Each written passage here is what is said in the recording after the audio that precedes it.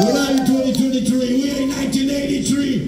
This is the very first song me and Igor ever did together from our bedrooms in Santa Tereza, Belo Horizonte. Sexta-feira 13.